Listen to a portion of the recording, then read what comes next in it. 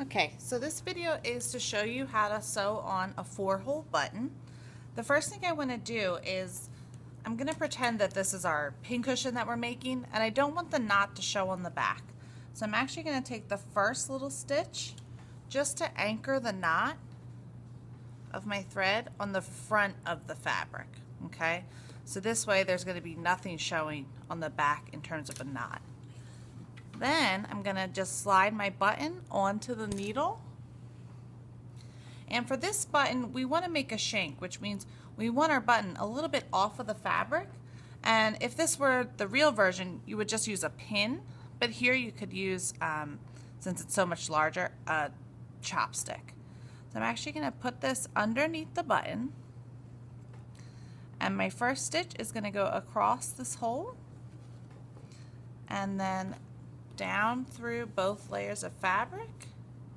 And what it does, as you can see once I tighten it up here, is this gives a little bit of room underneath the button so that when we go to hook on our elastic or whatever we want to button things to, um, there's some room under there. For these stitches, we're going to take four stitches across these two first holes. And on the back, you want to make sure that your stitching is nice and neat. You basically want to come up and down through the same holes so that the back looks nice too. Because believe it or not, you will be looking at the back the inside of your shirt. You know, if you sew a button on, you want it to look nice. So four stitches through the first two holes.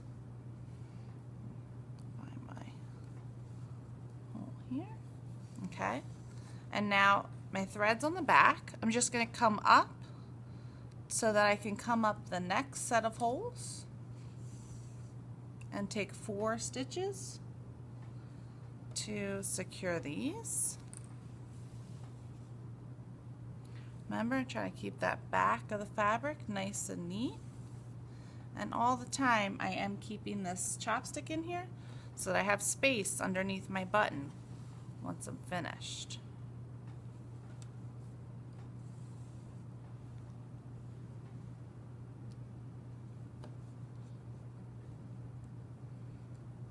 Okay. All right, so my button's secure.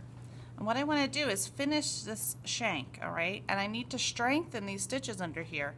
Otherwise, you know, the act of putting the elastic on and off this button or putting a shirt um, buttonhole on and off the button can break the button and that's how they fall off. So to make the shank, we put the needle up like we're going to go through a hole in the button, okay? But then we don't. We just come up right underneath the button. And here's where I'm gonna remove my chopstick, or if it's a small button, your pin. And see how it's a little bit loose? That's actually what we want. So you pull this thread all the way up and then wrap it around the button to secure it, okay? To knot this off, we just take our needle through our loop underneath,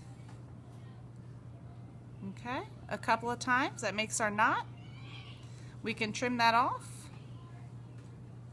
and your button is all finished.